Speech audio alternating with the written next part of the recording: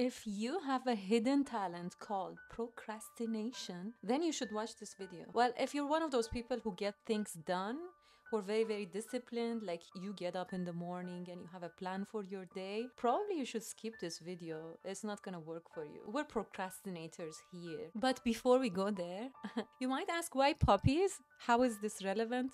It's not.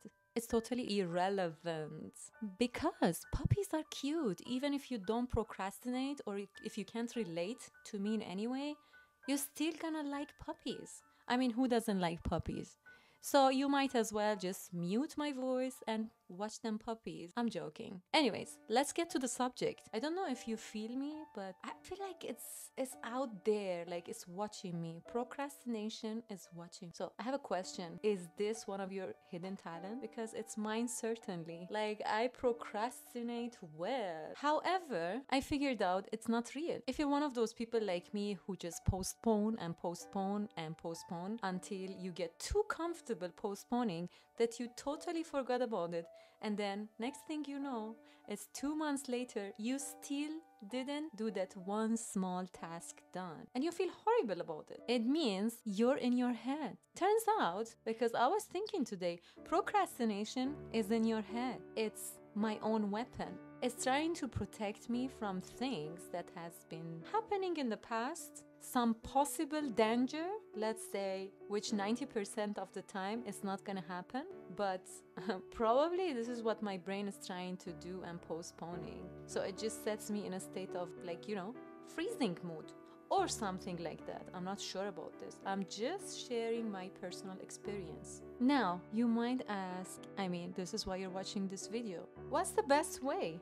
to stop procrastination and get things done? Well, I'm not an expert and I don't know much about this, but this is personal experience. So, again, I would love for you to share your opinions and give me several tips of how to get over my procrastination much. Thank you. So, don't forget Write down in the comment below. Also subscribe if you want to know more because I will share more of my secret weapons. I hope you like them. So please share your opinion and let me know what is your way. Like what is your personal way? This is not one of your videos, the videos that I will tell you what to do because I personally am procrastinating a lot. But I noticed one easy way I mean, at least helpful for me is to notice. Like, just be aware of the fact that, hey, I have been procrastinating about this subject since two months, which is the case about my YouTube channel. Today, I got a call from a very dear friend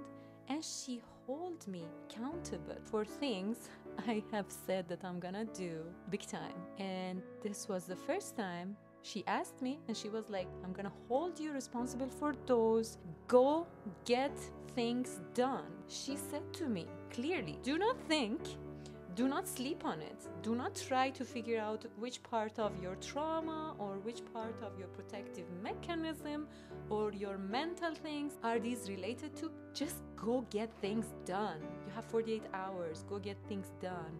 And I figure out that if I am under pressure, and a timeline, I get things done.